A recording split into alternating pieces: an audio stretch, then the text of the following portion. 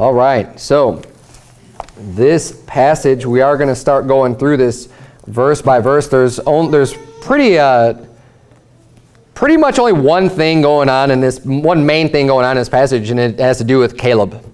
And Caleb kind of going, going to Joshua and just saying, look, I want my inheritance that was given unto me. We've seen before where they're divvying up the inheritance by lot to the different tribes.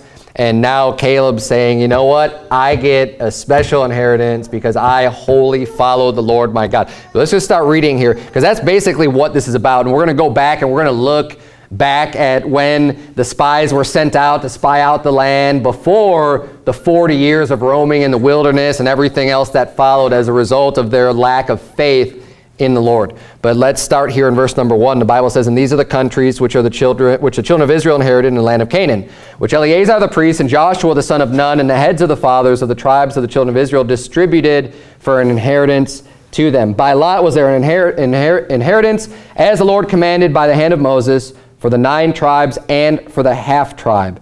For Moses had given the inheritance of two tribes and in half on the other side Jordan, but unto the Levites he gave none inheritance among them. So this is just a real brief overview. Obviously, there's nine and a half tribes left to give inheritance to on this side Jordan because the other ones already received their inheritance even from Moses before they crossed over um, the Jordan River. So, and then it mentions that the Levites don't get an inheritance of land. And I'm going to cover that in a couple weeks. There's, a, there's chapter 18, I believe it is, is when I'm going to cover that because there's multiple reasons that are given. And we've already seen um, a couple reasons from previous chapters. And now even here it says, for the children of Joseph were two tribes in verse number four. And that's, you know, this is one of the reasons he didn't give the Levites inheritance because the, the children of Joseph were so large and so massive that they were being given inheritance each. So I don't want to get too much more involved in that because we'll cover that in, uh, in future weeks.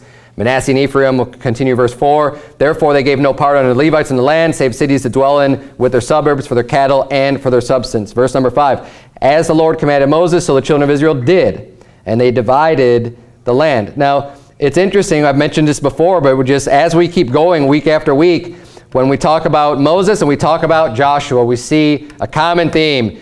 As the Lord said, so they did. As God told Moses, so he did. As the Lord instructed Joshua, so he did. And that is something that is a very strong character trait, and it's something that we ought to be striving for and looking to as our examples of saying, hey, whatever God is going to say for us in our lives, whatever we see in the Bible, that is what we should be doing.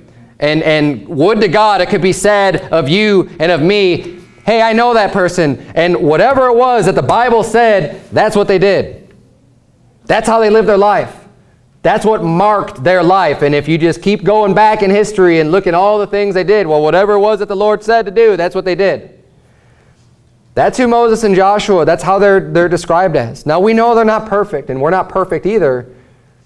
But I'll tell you what, this, this, this phrase keeps coming up an awful lot in the Holy Word of God. Very good, very good way to be known. And that's what we should be striving for. Look at verse number 6. The Bible says, Then the children of Judah came unto Joshua in Gilgal, and Caleb, the son of Jephunneh the Kenizzite, said unto him, Thou knowest the thing that the Lord said unto Moses, the man of God, concerning me and thee, and Kadesh Barnea. Now, keep your place here in Joshua 14. Turn, if you would, back to Deuteronomy chapter number 1. Because we're going to go look at the thing that the Lord said unto Caleb and unto Joshua and Kadesh Barnea and just and, and see what that is because Joshua is ma- or uh, Caleb's making reference to this. So let's go check it out. Because if you remember that when the spies were sent out, there was one person chosen of all of the 12 tribes to go out and spy out the land and check it out. So the children of Israel, they were delivered out of Egypt. And God, you know, there, there's a great um, victory coming out of Egypt and the parting of the Red Sea and all these great miracles and God's protecting them and keeping them safe. And he's leading them towards the promised land that was going to be their inheritance. So as they're on their way to go and inherit the land, which is what the book of Joshua is about, 40 years earlier, they were about to do everything that's happening in the book of Joshua. So as they're about to go in there, they say, hey, wouldn't it be a good thing to do? It would be wise to go check out the land. Let's go check it out. We'll, have, we'll be able to make a good plan, a good strategy to go in there and, and, you know, and, and take over this land. So they go in, they send these 12 spies to go in and spy out the land and check it out. And they go in and they, they, they look it out, they scope it out, they bring back some of the fruit and they're like, wow, it's a great place. It's you know well watered, and it's a land of milk and honey, and there, you know there's all these buildings and everything's there. It's basically this prime place, pristine for them to go and to move into, and to take it for, for God to bless them with such a great land. But the people got scared, ten of them, except for Caleb and Joshua. Caleb and Joshua said, no, let's do this. If God's with us, you know, God before us, who could be against us? That was their mindset. But everyone else was saying, no, no, no. Like, it was, it was back to that same mentality that we see all throughout those 40 years of the children of Israel wandering in Egypt. In the, excuse me, not in Egypt, in the, in, the, in the wilderness, in the wilderness of sin. They're going out and they're wandering because they had this attitude of say, oh, what did God bring us all the way out of Egypt just to kill us here? Oh, what, we're going to go in here and we're going to die because there's these giants here and, and they're so well fortified and they're stronger than us and they're bigger than us and, you know, they're just going to kill us. And that was the attitude, this fearful attitude and not trusting in the Lord. But see, Joshua and Caleb both had that faith and were saying, no, no, let's go do this. So as a result of that, God, was God blessed both of them. Because everybody else in their generation, their people, they all died in the wilderness. That's why they wandered for 40 years because God said, okay, you think I'm not going to give this to you? I'm not going to give it to you. Basically, not in your lifetime. And your children who you thought were never going to make it into the promised land, well, guess what? They are going to go in and receive it. You thought they're all going to die. You thought we're all to, you're all going to get slaughtered in battle. But no, I'm going to show you, you're going to wander around the wilderness until that generation dies out, and then your children are going to go and inherit it. But he allowed for Joshua and Caleb from that generation to go in because they were right with God. So now we're going to see here, look at verse number 35 of Deuteronomy 1, what it is that God said concerning Caleb and Joshua. Look at verse number 35. The Bible says, Surely there shall not one of these men of this evil generation see that good land which I swear to give unto your fathers. Save Caleb, the son of Jephunneh, he shall see it, and to him will I give the land that he hath trodden upon, and to his children, because he hath wholly followed the Lord. As the Lord was angry with me for your sakes, saying, Thou also shalt not go in thither, but Joshua the son of Nun, which standeth before thee, he shall go in thither. Encourage him, for he shall cause Israel to inherit it. So this is what God said concerning Caleb and Joshua and Moses, because we see in there too that Moses, or the Lord was angry with Moses because of the children of Israel that, that were complaining and, and going this way. And Moses ended up not being able to go into the land either. And, um, but Caleb was.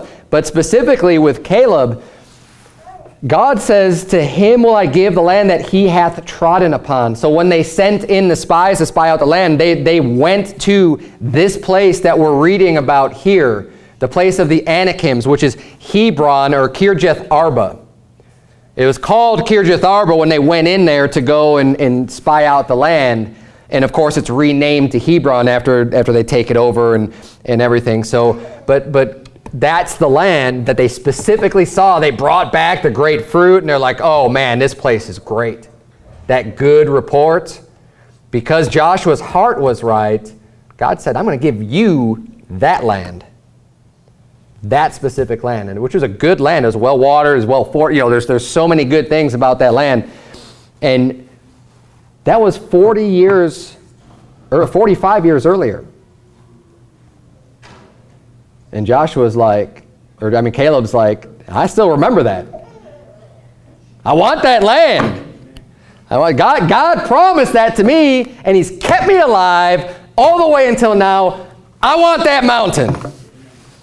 And that's and and this is I love this story. It's a great story. And Joshua's 80, or excuse me, Caleb is 85 years old. 85 years old going, I want that mountain. Look at verse number 7. The Bible says, 40 years old was I when Moses, the servant of the Lord, sent me from Kadesh Barnea to spy out the land, and I brought him word again as it was in mine heart. I just preached recently on getting your heart right with God and, and how everything starts with your heart. And that's what was right about Caleb. That was the biggest thing that was right about Caleb. It was in his heart. He was a man who had a lot of heart to serve the Lord. He's a man who, who, who had his heart in it and, and was so dedicated and so faithful that he didn't let the thought of a formidable adversary, a formidable foe, scare him or cause him to doubt or cause him to back down or run away or get scared or quit. No, he kept pushing forward and said, we can do this. God is with us. As it, you know, you don't have to turn there, but in Numbers 13, this is, this is what Caleb's answer was because when he went and his 10 brethren are over there, the other heads of the tribes are saying, no, no, we shouldn't go in there. The Bible says in Numbers 13:30, and Caleb stilled the people before Moses and said, Let us go up at once and possess it, for we are well able to overcome it. He says, We are well able to do this. What they saw was chariots they saw big defenses. They saw giants. And we're going to get into that a little bit later, real soon, but that the land was full of giants and, and, and a very strong, mighty people.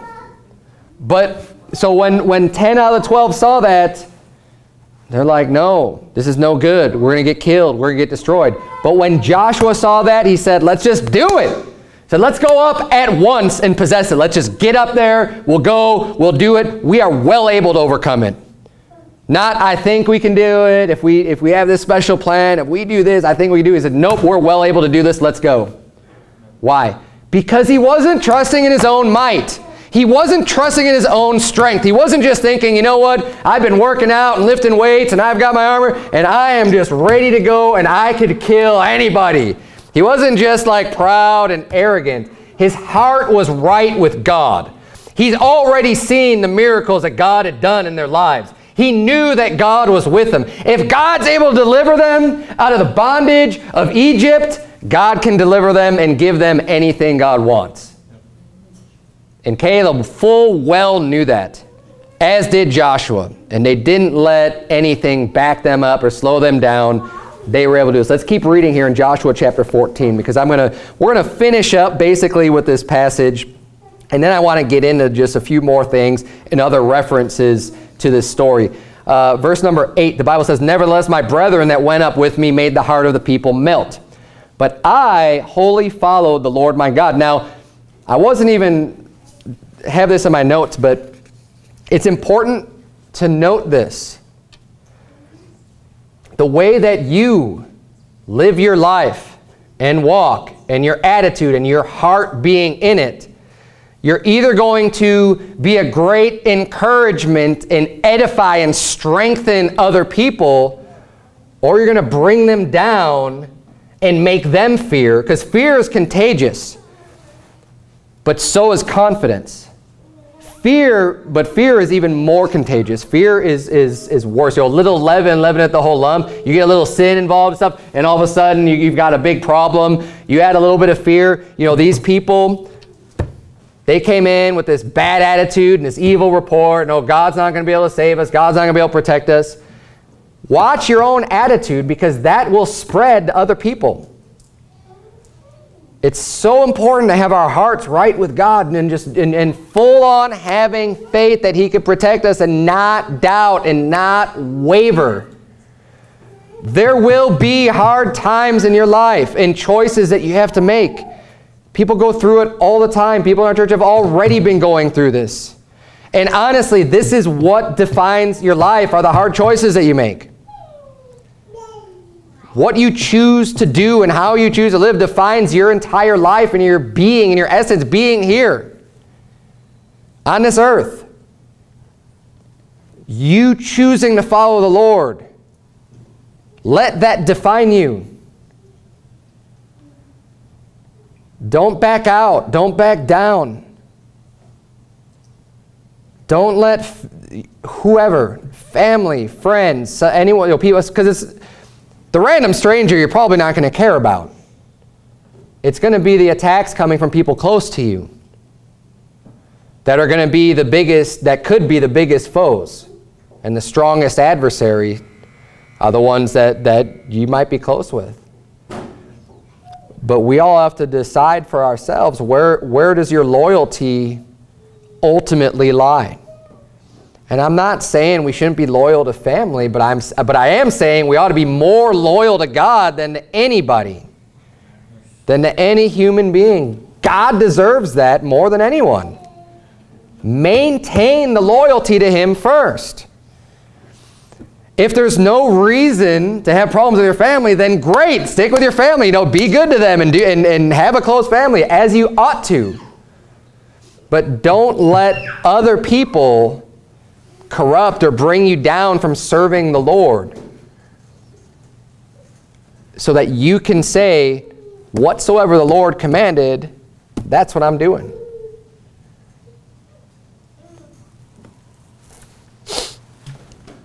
People will see when you start, and I'll speak perfectly from it by example.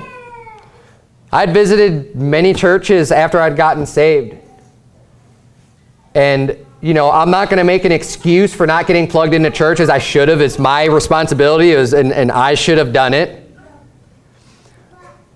But when I finally got involved in a church where I can see somebody serving the Lord and not only preaching what the Bible says, but actually living and following and leading by example and doing the things that you could see in Scripture, that was really encouraging. That really got me motivated. That got me stirred up. That got me right with God. And that got me doing way more. Why? Because I was able to see the confidence, the attitude, God's with us. Who can be against us? Let's go and do this work. It's exciting. But then you go into to, you know, all these other churches and they're scared of their own shadow. Oh, out of the government's going to do this. The sodomites are going to do this. We're going to have people come after us, you know, and it's fearful. Or they're just not teaching anything. But when you have somebody that's willing to just dedicate their life saying, no, we're doing this, that'll rub off on people. It'll keep you right, and you'll be, without even realizing it sometimes, you'll be helping many other people. Just showing up and attending church on a regular basis is helpful. I mean, that, and that's a very small thing. But it's something that you just determine and say, this is important to me. I'm going to make sure I'm there. And, and many people, I think, will never realize even for pastors, the importance of just, of just people showing up and being in church. That is edifying. That is helpful. That strengthens us to keep going and to keep pushing and doing more.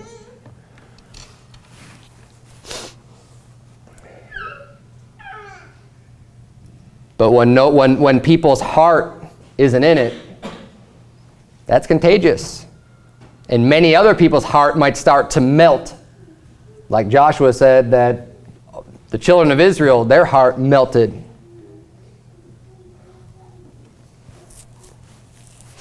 Because of the evil report brought on by the other people.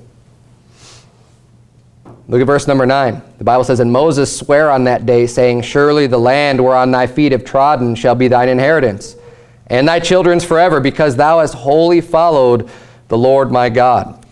So again, reiterating, that's what God said about Caleb or that, that Mo, excuse me, Moses said from God to Caleb that he was going to get that land, which also goes to show, you know, if you dedicate your life and you wholly follow the Lord, God's going to have a great blessing for you. He's going to have a great inheritance. There's going to be great rewards for you in heaven. Remember that this promised land is symbolic of, of heaven, of, of the kingdom to come. It's entering into that rest, entering into the promised land that we will one day enter into with the Lord Jesus Christ, where we will receive rewards and a blessing and an inheritance as, as Caleb is receiving his inheritance, you know, physically on this earth, it, it symbolizes what we can receive too. The best of the land is reserved for the people who wholly follow the Lord their God and who can serve the Lord even in bad conditions.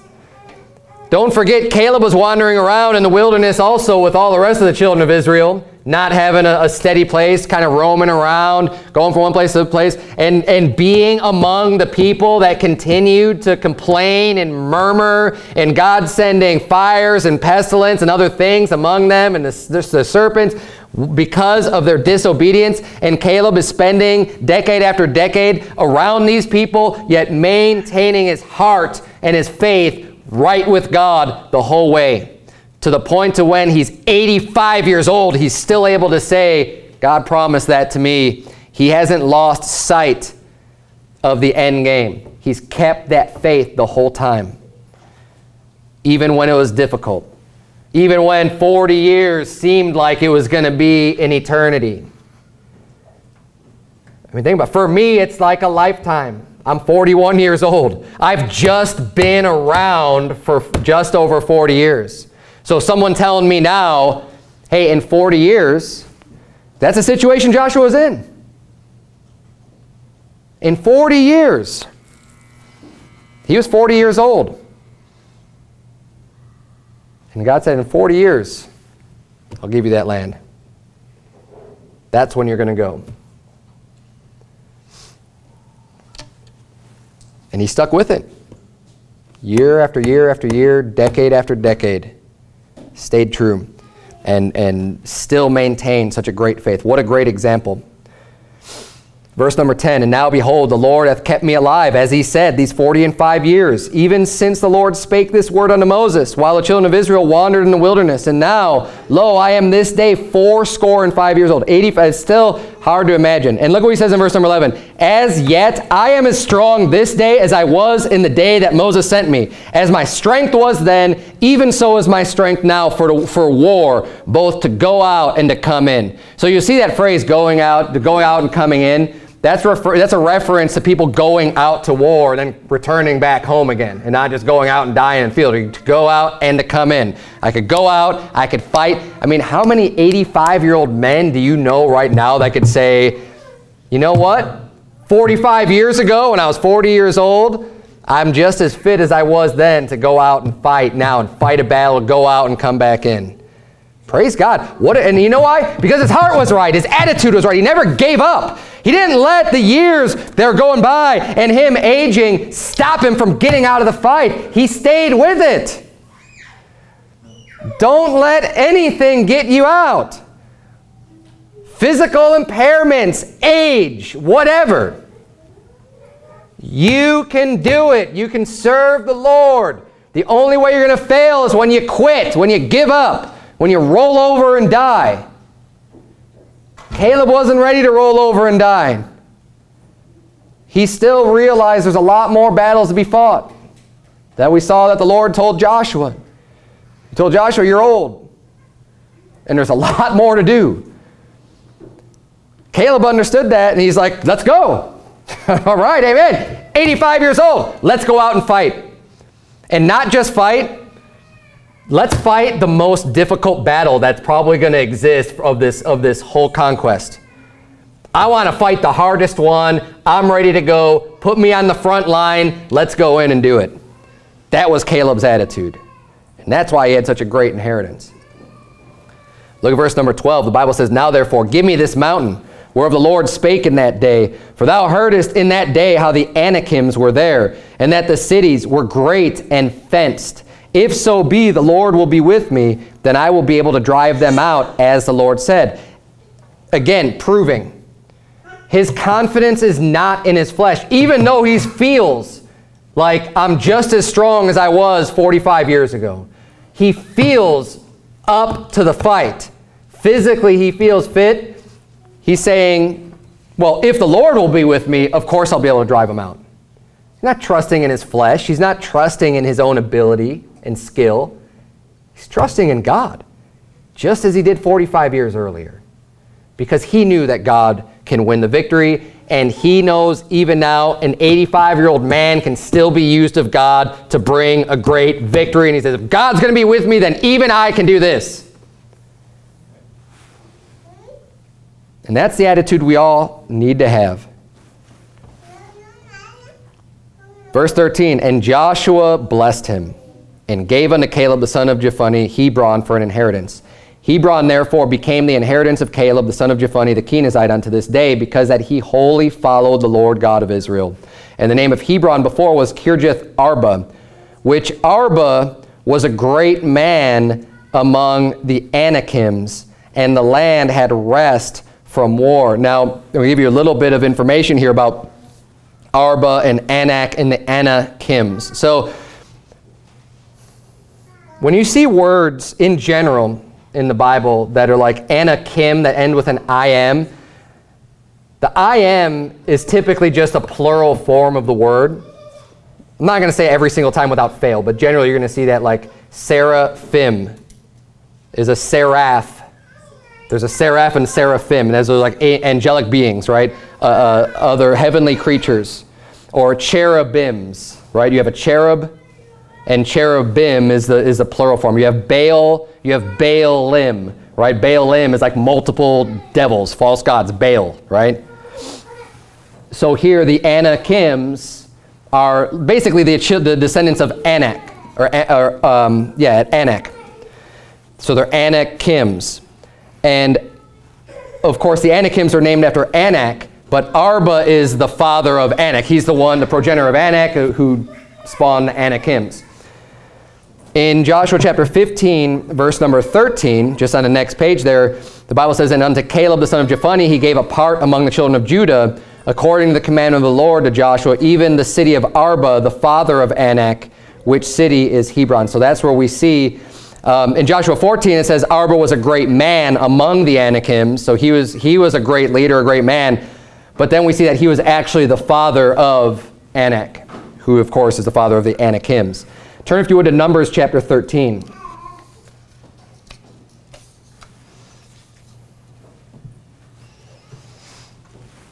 Numbers 13, we're going to see the sons of Anak, or the, the Anakims referenced again in Numbers 13. And this is where we're going to see that there were giants, that the, the, the Anakims were actually giants.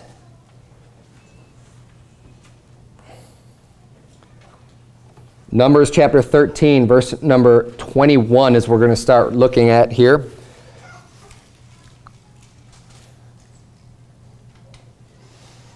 The Bible says in Numbers 13, verse 21, So they went up and searched the land from the wilderness of Zin unto Rehob, as men come to Hamath. And they ascended by the south and came unto Hebron, where Ahiman, Sheshai, and Talmai, the children of Anak, were. Now Hebron was built seven years before Zoan in Egypt. And they came unto the brook Eshcol, and cut down from thence a branch with one cluster of grapes. And they bare it between two upon a staff, and they brought of the pomegranates and of the figs. So they're bringing this great big cluster of grapes that they were bearing on a staff between the two of them. Like they're carrying this, this, this big cluster just because, I mean, it had to be pretty large for them to even transport it that way, right? I mean, it normally, I know we had grapes growing in Prescott Valley, and you'd get some pretty decent sized clusters, but I mean, you, you're picking it up with, with one hand. They, this, this just goes to show how fruitful the land was just to have like this, this huge, great big cluster of grapes that they're carrying between the two of them back. And this is the land, don't forget, this is the land that's promised unto Caleb because of his faithfulness. So they're coming back. They've got, they've got pomegranates, they've got figs, they've got all this fruit of the land. And it says in verse 24, the place was called the brook Eshcol because of the cluster of grapes which the children of Israel cut down from thence. And they returned from searching out searching of the land after 40 days. And they went and came to Moses and to Aaron and to all the congregation of the children of Israel into the wilderness of Paran, to Kadesh, and brought back word unto them and to all the congregation, and showed them the fruit of the land. And they told him and said, We came unto the land whither thou sentest us, and surely it floweth with milk and honey, and this is the fruit of it. So the first report is that the land itself is very, very good. I mean, milk, honey, this great fruit. But then it says in verse 28, Nevertheless, the people be strong that dwell in the land, and the cities are walled and very great. So he's talking about, now they're starting to talk about their great defenses. You know, they've got these big walls. They're built up. How are we even going to defeat these people? I mean, they could just sit in there. You know, there, there's no way to, to fight these people. And then it says, um, and moreover, we saw the children of Anak there. So now they're specifically making mention of the children of Anak because they had a reputation of being, you know, big and strong, and they were giants. So they were these, these really large people. Verse 29, the Amalekites dwell in the land of the south, and the Hittites and the Jebusites and the Amorites dwell in the mountains, and the Canaanites dwell by the sea and by the coast of Jordan. And Caleb stilled the people before Moses and said, Let us go up at once and possess it, for we are well able to overcome it. But the men that went up with him said, We be not able to go up against the people, for they are stronger than we. See, Caleb had his, had his mind on God's strength being with them, whereas the children, the other people that went up with him are thinking their own physical strength. See, we can't think that way. You can't think about your own physical abilities if you want to serve the Lord. Perfect example of this, hopefully is very applicable, of saying, well, I don't think I can really preach the gospel to anyone because I'm really shy and I'm not good with words and I can't speak really well. If you're going to go out in your own strength, you're, you're right. You're not good enough. If you're going to trust in your own ability to serve God, then it's not going to go anywhere. You're not going to be successful. But if you could go out and say, Lord, I'm here. You made me the way that I am. You know who I am. I need help with this, but I'm here to serve you and to do what you've commanded me to do. I'm willing to go. There's someone that God can do a lot with. There's someone that can lead people to Christ. You let God do all the hard work, but you put yourself out there for Him. You yield yourself to Him. Use me, Lord. I'm here. Help me, help me do this. I'm willing. My heart is in it. And you just do it. Bottom line. And then God can use you and mold you and shape you the way that He wants you to be.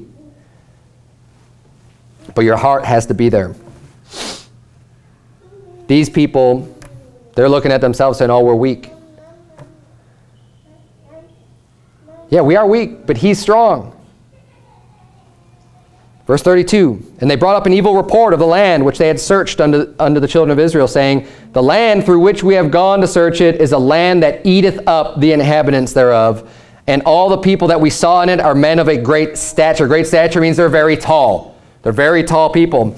And then it says in verse 33, And, and there we saw the giants, the sons of Anak, which come of the giants and we were in our own sight as grasshoppers, and so we were in their sight. A little bit of an exaggeration there, but what they're trying to get across is that, you know, these people are so tall, we're just like little puny people compared to them because they are so tall. Now, turn if you would to 1 Samuel chapter 17.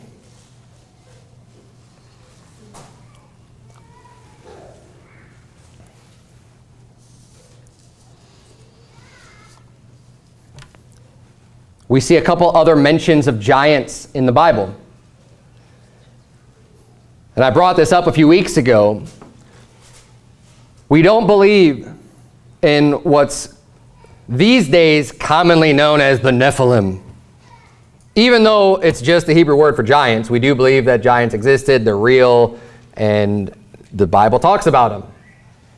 But we don't have to add any air of mystery by calling them by a name in another language because that's what fools do. That's what people, or people who are proud, or people who are just easily deceived and carried about with every wind of doctrine, that want to feel like they know something extra special, some hidden occult knowledge that you don't know, and go to extra biblical resources other than just looking at what the Bible actually says about these people who are the giants. They're giants in the land in those days, and we believe that. And they're not hybrids between human and angels and and all this weird stuff, and they didn't grow to be, I forget how tall, how many hundred or thousands of feet tall, whatever. Remember when I brought that up, like the, the book of Enoch says, and the book of Jasher, and all those these these non-inspired books that are written of men claiming that these giants are so incredibly tall. That's not the way it was. But the Bible gives us examples. So in 1 Samuel 17, we have the example of Goliath. Goliath was a giant. Everyone knows this story. David and Goliath. Goliath was a Nephilim. he was a giant. But guess what? David didn't have to sling the stone you know, 100 stories into the air to try to, to try to knock him out and kill him. Okay, that's not what happened. But the Bible actually gives us dimensions, so we don't even have to wonder about it. We don't have to question it. We don't have to go to the book of Enoch to figure out how big giants were because the Bible tells us how big they were. 1 Samuel 17, verse number 4, the Bible says, And there went out a champion out of the camp of the Philistines named Goliath of Gath, whose height was six cubits in a span. So right there it tells us how tall was Goliath. He's a giant. He's a man of war. He's not an infant. He's not a baby giant. I mean, he's a, he's a full-grown man giant. And his height is six cubits and a span. You say, yeah, but Pastor Berzins, I don't know what a cubit or a span is. It's actually very simple. A cubit is from your elbow to your fingers. Now, I know that we all are a little bit different size and shape. But in general, the standard would be roughly 18 inches, about a foot and a half. That's a cubit.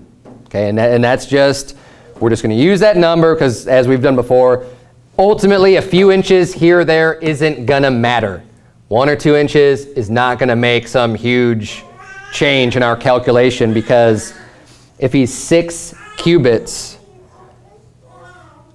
what's that going to be? Three, six, nine feet, right? Nine feet tall, and then a span. What's a span? A span is the distance from your, the tip of your thumb to the tip of your little finger. That would be a span. And these are older measurements that we don't use, but they've gone throughout time. And that is about um, nine inches. That's kind of the standard that's used, okay? So Goliath was approximately nine foot nine inches tall. It's a tall guy. But is that really outside of the realm of possibility to even think that there could be a man that's nine foot nine inches tall today? No. Now I don't remember. I, I, didn't. I didn't look it up. I've seen it multiple times, like the tallest recorded living man, and so like in, in in modern history, and even the tallest person alive today. But I mean, people, even in our time, have grown over eight feet tall. So we're talking nine foot nine inches, right? This isn't just. Uh, this isn't 20 stories tall. Okay, this, this is this is a normal person, but someone who is a giant someone who is big. To, me, I'm six foot two, saying next to someone who's, you know, nine foot nine, that's pretty intimidating. That's not someone I want to get in a fight with. you're someone like, yeah, I could take that guy. And you walk in and you're like, you see that giant? No. I don't want to fight you because it's, I mean, everything about him is going to be a little bit bigger, right? He's going to have bigger, bigger arms, bigger hands, bigger muscles. Goliath was approximately nine foot nine inches tall. It's a big guy. Let's read a little bit more about him.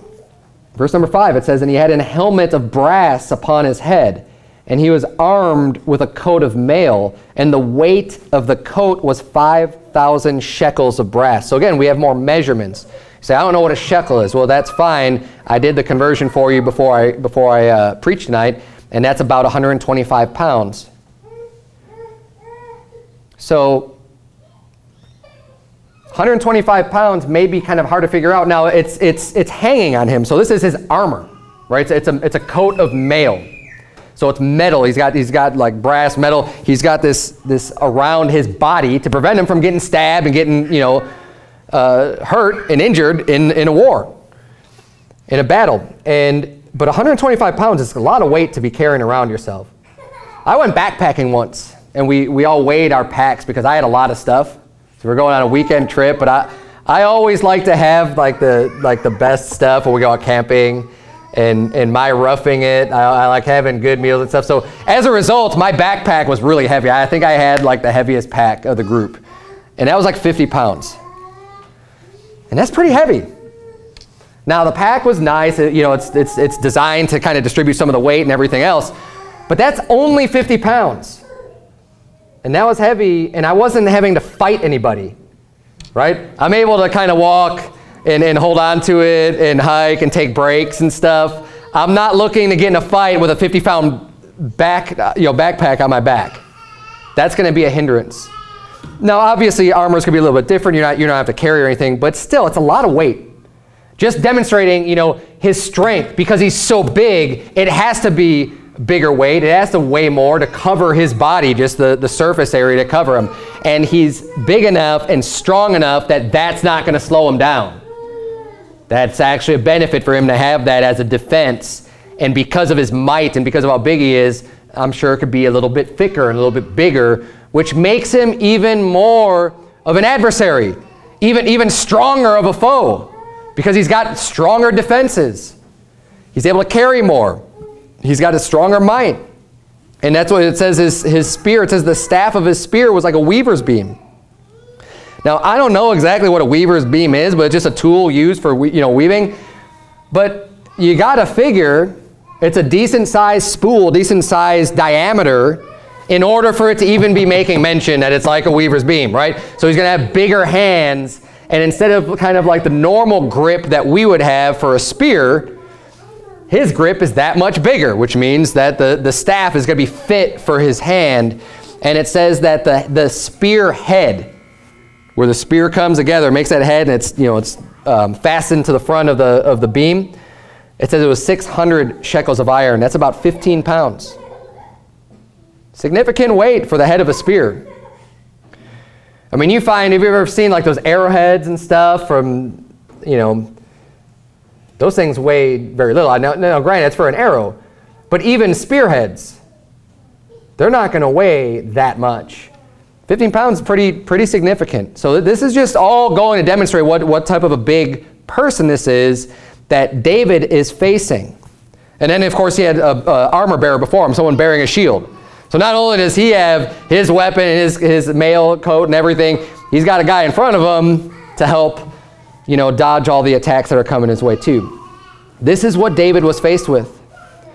We see one more illustration. We're going to come back to Samuel 17. So say in Sam, uh, 1 Samuel 17. With Og, the king of Bashan, the children of Israel already fought a giant.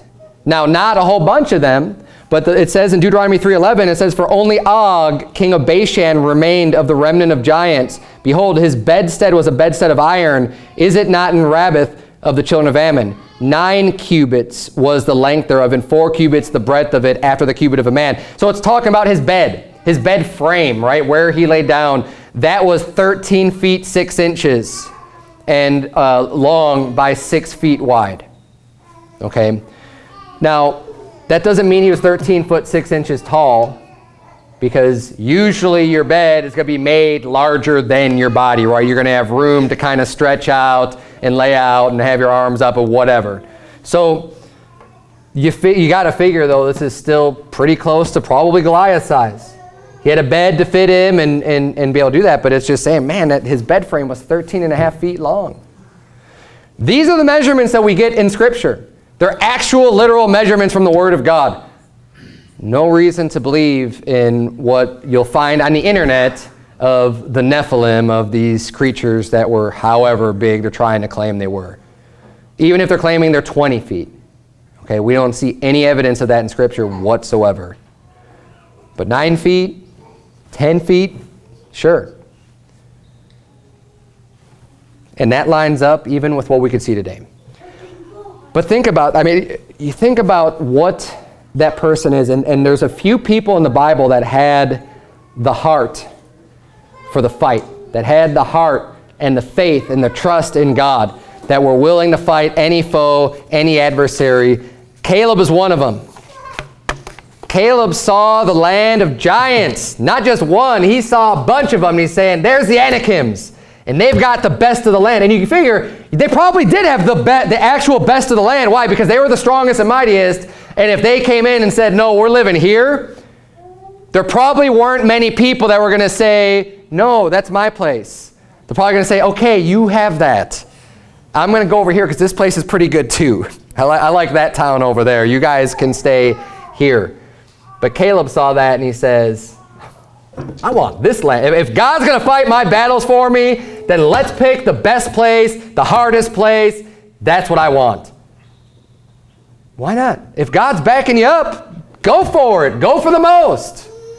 Don't go for something small. shoot for the stars.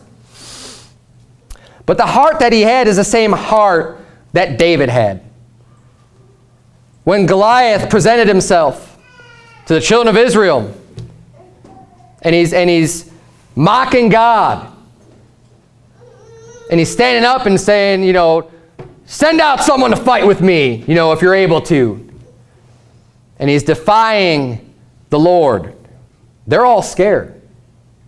Not even, not even the king, Saul. Anointed of God. Who's God, God's already helped him win victories. And Saul, don't forget, he was head and shoulders above the rest when he was anointed king. He was, he was, he was the tallest guy. If you're just looking at physical height and stature, he would have been the one to go. Why not? He was the king. If the Lord's going to be with anyone, wouldn't he be the Lord's anointed? Hey, go out there and fight this guy and don't let him, you know, mock God like that. You show him who the Lord is. And God will be with you and you could win that fight. But he, even he was afraid to go. But David, whose heart was right with God, comes down he's like, who is this uncircumcised Philistine? You're going to let him talk like that? And then he goes, and look at this. Look at verse number 42 when David gets all ready to go, they're trying to put armor on himself. He's like, get this stuff off me. I haven't tried this. I, you know, like, like, let me just fight this battle. It's the Lord's anyways. You don't have to give me all this stuff now and get me ready. Like it's, you know, let me just do my thing. And he pulls his, his stones out of the brook, nice smooth stones he used with his sling. And, and when Goliath sees him, this is where we're catching up in the story. Look at verse number 42. It says, And when the Philistine looked about and saw David, he disdained him. So he hates him. He's like, for he was but a youth and ruddy and of a fair countenance. Now, on the one hand, we had Caleb. He's an old man. He's 85 years old. And on the other hand, we have David, who's a youth. And he, at this point, he's not a man of war. He's a youth. He's got a fair count. You know, he's kind of good looking. He hasn't been in battle. He's got all these scars and stuff and all these fights. It's just this, this young guy coming against this, this war veteran, Goliath. And Goliath's like, who are you sending out to fight against me? But that shows you his disdain for him. Who was David? Was David trusting in his own strength and his own might? No. But was God able to use David to bring down a giant? Absolutely. Verse number 43, And the Philistine said unto David, Am I a dog that thou comest to me with staves? And the Philistine cursed David by his God, by his gods. And the Philistine said to David, Come to me, and I will give thy flesh unto the fowls of the air and to the beasts of the field. Then said David to the Philistine, Thou comest to me with a sword, and with a spear, and with a shield. But I come to thee in the name of the Lord of hosts, the God of the armies of Israel, whom thou hast defied. This day will the Lord deliver thee into mine hand, and I will smite thee and take thine head from thee. And I will give the carcasses of the host of the Philistines this day unto the fowls of the air and to the wild beasts of the earth, that all the earth may know that there is a God in Israel. Goliath came to him in his, in his strength and in his might and trying to intimidate him and trying to scare him. And David came back saying, you know what, I'm coming in the name of the Lord. You're going to see how powerful God is today. He didn't say you're going to see how powerful David is today and how smart and cunning I am. You're going to see what the Lord can do. You're going to see the battles that God can fight, whom you're defying. Verse number 47, And all this assembly shall know that the Lord saveth not with sword and spear, for the battle is the Lord's, and he will give you into our, our hands. Sorry, my notes got a little bit out of order here. He's giving the credit unto God. We need to remember to do that. You're faced with a spiritual battle or some, some great adversary standing in your way. Don't be intimidated by it. In fact, look at the attitude that David had. Instead of being intimidated or even being hesitant or being scared, I love this about him because it's the same exact attitude that Caleb had. Look at verse number 48. And it came to pass when the Philistine arose and came and drew nigh to meet David, that David hasted. That means he hurried up. He didn't drag his feet and going, well, I guess I'll do this. You know, God's got me doing this battle. I guess I'll go out and fight. Hopefully he's with me. I'm going to go out there and, and see what I can do. I'll give it my best, I guess. No, it says David hasted and ran toward the army to meet the Philistine. He's like, all right, let's do this. Come on, you know, he's, he's, he's on it. He's going. That's the attitude that David had. That's the attitude that Caleb had. It doesn't matter how strong the foe was. He's saying, if God's with us, let's go and do this. Let's get it done. Let's go out and win some souls. Let's go out and fight these battles. I'm not backing down to anybody. Let's do it. Bring the world against us. We're going to do it. And this is the attitude that we're going to need to have going into end times going into troubles, great tribulation such as was not before the world began, nor no nor ever shall be. Hard times to come, giants coming up to face us and to stop the work of the Lord being done. We need to stand up and fight and not only just stand our ground, but hey, let's run into the battle. Let's do it. Why? Because God will be with us. Not because we're so great, because God's so great and God can win the victory 100 times over. Doesn't matter. And of course, we see, we'll finish up this story, uh, verse number 49. David put his hand in his bag, took thence a stone, and slang it, and smote the Philistine in his forehead, that the stone sunk into his forehead, and he fell upon his face to the earth. So David prevailed over the Philistine with a sling and with a stone, and smote the Philistine and slew him. But there was no sword in the hand of David. Therefore David ran and stood upon the Philistine and took his sword and drew it out of the sheath thereof and slew him and cut off his head therewith. And when the Philistines saw that their champion was dead, they fled. That's all they needed to see. See, this one battle, this one victory, David not being afraid, not backing down, not being intimidated, changed the whole course of the whole war, the whole battle, everything. This one victory, then they went in and just destroyed them. We need Joshua's. We need Caleb's. We need David's. We need Jonathan's. Jonathan had the same spirit as David. Jonathan's the one that came with his armor bearer, and he's like, he went up to the host of the Philistines. Right? Before this, he's saying, hey, we know that God can save by many or by few. Should we go up to these guys? You know, just, just me and you. Come on, let's do it. And they go, and God brings a great victory. Why? Because they were willing. Their heart was in it. They, didn't, they, didn't, they knew they didn't need everyone else. They're like, let's just do this. Let's get moving.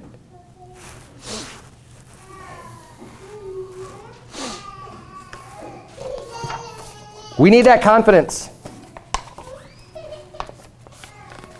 We have story after story. You've got, you've got it all right here. You need help boosting your confidence? Read these stories. Read the Bible. Get in the Word of God. Understand that every single one of these stories is real. And God has used people all throughout history to do great things. And He still wants to do great things and have His great name known in the earth and glorified and magnified. And the way that He's going to do that is by using the least of us. You think you don't have that many talents? Great. Because then God could use you even more, bring even more glory and honor unto Him.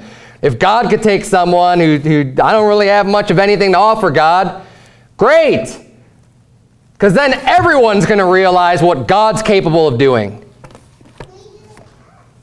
Let's bow our heads have a word of prayer. Dear Heavenly Father, Lord, we thank you so much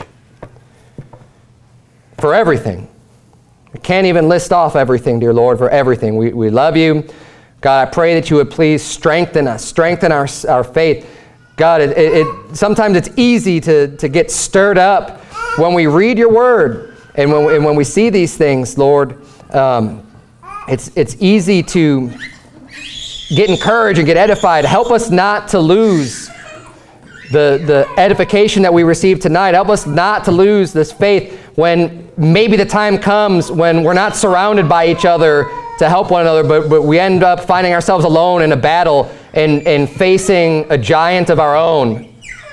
And it's just us and them. Lord, help us to have that faith, to not back down, to not be ashamed of our faith, to not be ashamed of what you've done for us, but to rather find strength in what you've done and find strength that you'll be with us if we're making if we make the right choice and we stand up and get involved in the spiritual fight that you can do all things, that we can do all things through Christ, which strengthens us, dear Lord. It's in Jesus' name we pray. Amen.